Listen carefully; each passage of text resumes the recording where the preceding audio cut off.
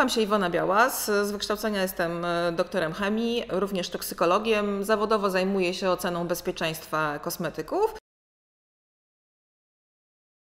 Mam ogromną przyjemność e, prowadzić zajęcia z szeroko pojętej chemii kosmetycznej na uczelni.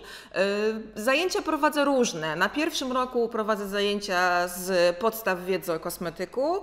Na kolejnych latach prowadziłam zajęcia z chemii analitycznej, prowadziłam zajęcia z chemii kosmetycznej, e, z wiedzy o surowcach. Aktualnie mm, prowadzę wykład dotyczący surowców naturalnych i ogólnie kosmetyków naturalnych, które są obecnie modnym kierunkiem jako nowe takie, mm, powiedziałabym, grupy produktowe obecne na rynku, albo właściwie ciągle popularne na rynku. E, to, co mogę powiedzieć o tych wykładach, to generalnie są to takie dosyć istotne mm, aspekty szeroko pojętej wiedzy w zakresie chemii kosmetycznej, e, bo bez dobrych podstaw, tak jak dom nie będzie stał długo i stabilnie, tak, tak również ekspert w danej dziedzinie nie będzie czuł się swobodnie przy nadążaniu na, e, do, no, do nowych technologii, e, pozyskiwania wiedzy o nowych możliwościach, nowych aspektach, czy to bezpieczeństwa, czy innowacjach.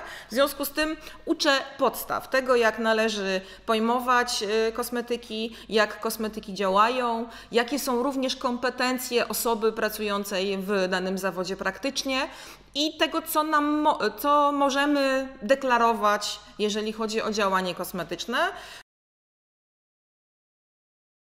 Takim moim mottem zawodowym zawsze jest y, jakość, rzetelność i prawdziwość y, informacji. To znaczy, nie lubię koloryzowania, nie lubię ubarwiania. Ja rozumiem, że są to bardzo kluczowe narzędzia marketingowe. Natomiast y, zwykłam mówić, że podstawa i dobrze przygotowana, rzetelna wiedza sama się obroni, a Kosmetyczne fakty i mity to jest rzecz, która jest moim takim konikiem. Lubię je zwalczać, lubię zwracać uwagę na to, że z jednej strony jest marketing, z drugiej strony y, rzetelna prawda i wiedza o możliwościach y, działania produktów kosmetycznych.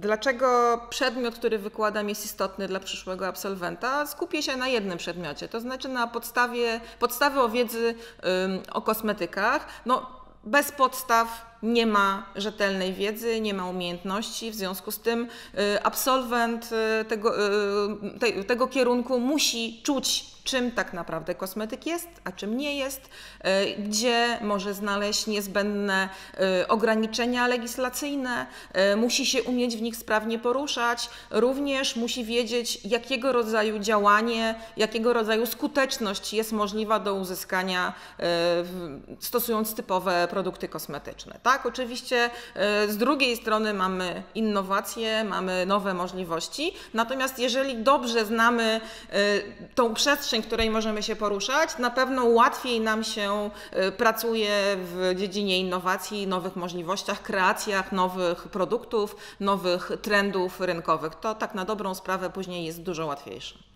No i jeszcze chciałabym bardzo gorąco podziękować wszyscy, którzy oddali na mnie głosy. Jestem zaszczycona, bardzo dziękuję wszystkim, którzy docenili moją pracę, bo śmiem twierdzić, że przeważnie mam taką opinię, że jestem wykładowcą może i dobrym, ale mocno wymagającym, co nie zawsze jest rzeczą łatwą do przełknięcia.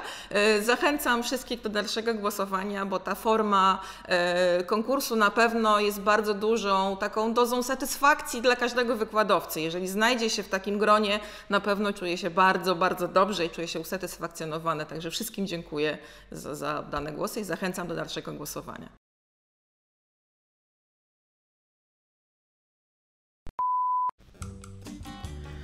Na kierunku chemia kosmetyczna generalnie prowadzę szeroko pojęte zajęcia z chemii kosmetycznej, to znaczy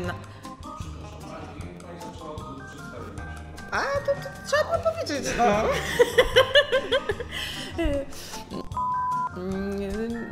Jedno... Co my tam jeszcze mamy? Może coś jeszcze o, nie wiem, o tym wychowaniu.